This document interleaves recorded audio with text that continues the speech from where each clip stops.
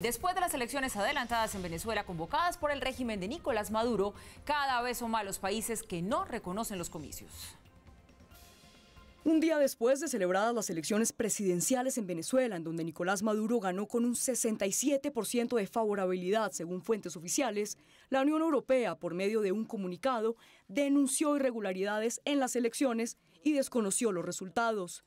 Venezuela necesita urgentemente una solución política para poner fin a la crisis actual y ante todo para cumplir con las necesidades humanitarias más apremiantes de su pueblo. Hoy el bloque del G7, conformado por Canadá, Alemania, Estados Unidos, Francia, Italia, Japón y Reino Unido, se sumó al rechazo de la Unión Europea al resultado electoral en Venezuela y denunciaron su desarrollo por no cumplir los estándares internacionales ni asegurar garantías básicas.